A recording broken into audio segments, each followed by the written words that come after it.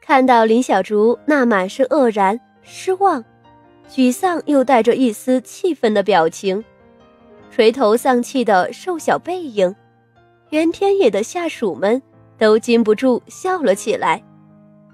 这小姑娘就是个孩子嘛，虽然竭力装成一副大人的样子，做了好事得不到奖赏，还是会不高兴，而且还是很不高兴。这样的表现就对了。先前那些跟年龄、经历毫不相符的深沉举动，应该都是装出来的。一个小姑娘想要在俊美的公子面前表现出色，这也很是正常嘛。大家都吃饱喝足，唯有公子还一粒米没有下肚，众下属都有些坐不住，纷纷站起身来，装成很忙碌的样子，或去猎雉鸡，或去拾枯枝，或往火里添柴。而吴彩云傻愣愣地站在那里，不知自己应该怎么办才好。从始到终，那俊美的公子都没有往他身上看一眼。事发时，他还感觉庆幸，没有牵连自己。可这会儿事情已经解决，公子的目光竟然还放在林小竹的身上，一脸的深思。自己这么漂亮的小姑娘，却跟旁边的树木一样，丝毫没有引起他的注意，让他极为的失落。他正想着，自己是不是也应该像林小竹一样，说一些什么一鸣惊人的话出来，可绞尽脑汁也没有想出有什么好说的。正纠结时，右边的袖子。被人拉了一拉，他转过头去，看到吴平强正对自己歪歪头，示意自己回后面去。见他不动，干脆拽着他的胳膊用力往后拉。吴彩云绝望地看了袁天野一眼，见他已从林小竹的身上收回了目光，正对着面前的那堆火凝神。也不知道在想什么，只得失望的跟着吴平强往回走。袁天野他们选的这块地方作为宿营地，是因为水源离得特别近，在火堆过去不远处，有一条白亮亮的山泉正从山上流了下来，然后沿着地势低洼处朝山下流淌。山泉流经之处，便形成了山涧。四堆旺火将旁边的山涧照得很亮。为了不祸害生灵，林小竹找了个离水源比较远的地方，将粥倒进去，再折了些树枝盖在上面，这才到水泉处接了水，将锅洗干净，然后装了水半锅。摇摇晃晃地往回走，走了一天的山路，他的脚早已起了水泡，这会儿提着重物，走路就更疼了。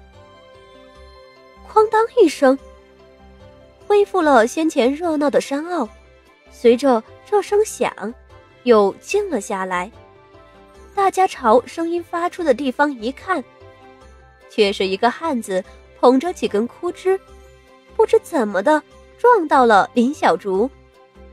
刚才那一声响，就是林小竹手里的锅掉落到了地方发出的声音。林小竹本来心情就不爽，这不知被哪里冒出来的人撞了一下，极为的恼怒，抬头瞪了他一眼，却发现。这汉子正是原来跟着袁天野到了夏家村，后来离开时却不见人影。等他们差不多到山坳时，又冒出来的那个人，名字似乎叫做袁武。袁武被他瞪一眼，半点也没有生气，笑眯眯的道着歉，又将手里的枯枝往旁边一放，捡起地上的锅，道：“我去将水打来。”说完，飞快的往山涧跑去。本就是小事，对方又态度良好的道了歉，林小竹也不在意，迈步往袁天野的方向走去。却听哗啦一声，腰带处一松，里面的铜板忽然洒落了下来，滚得一地都是。林小竹恨恨地闭了闭眼。人倒霉起来，真是喝水都塞牙。古语云：“财不露白。”众目睽睽之下，这么多铜板洒落到地上，就算全都捡了回来。岂不是要招贼吗？华服男子和大汉们看到这些铜钱，只惊讶了一下，便又好笑了起来。孩子们却是一片的哗然。深山里基本上都是自给自足，这些孩子长这么大，见过铜钱的没几个。今日卖身的二百个铜钱。看都没看一眼，就由自己的老子娘给收走了，却不想这瘦瘦小小的林小竹，不声不响的在腰带里竟然藏着这么多的钱，真是有钱人呐！林小竹重重的叹了一口气，蹲下身去将铜钱一枚枚捡起来。漂亮可爱的小小女娃。立了功没有得到奖赏，还被差使着去提水煮粥，这让大汉们万分的同情，纷纷起身帮他捡铜钱。便是滚落到草丛里的一两个，也都找到了，交还给了林小竹。数数看够不够，不够的话叫元武陪你。袁天野坐在那里，饶有兴致的。看着这一幕，此时见钱都交还给了林小竹，出声道：“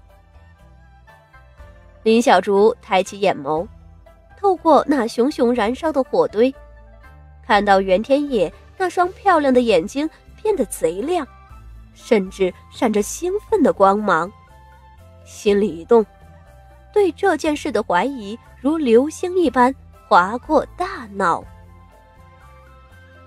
因为舅母的苛刻，所以他总是未雨绸缪，将一些他认为有用的东西都带在身上。除了怀里和袖口的衣兜，他的腰带也是可以藏东西的。这腰带他前日还检查过，虽然比较旧，但是远远不到这么忽然就破掉的地步。知道他把钱藏在腰带里的。也就袁天野了。刚才袁武那一撞，绝对有问题。盯着小狐狸那黑亮深邃的眼睛，两人的目光隔着火堆遥遥相撞，电光火石之间，再一次弥漫起硝烟的味道。睡觉睡到自然醒，数钱数到手抽筋。历来是林小竹追求的人生理想。虽然这一百九十个铜钱数量不多，手瘾都过不足，但对于林小竹来说，却是他全部的家产，自然得数清楚。所以，他丝毫不觉得在大庭广众之下数着点点，连大汉们都不放在眼里的钱有什么可丢脸的。当下。也不管袁武是否提了水回来，也不管袁天野是不是还饿着肚子，蹲在那里一五一十的数起钱来。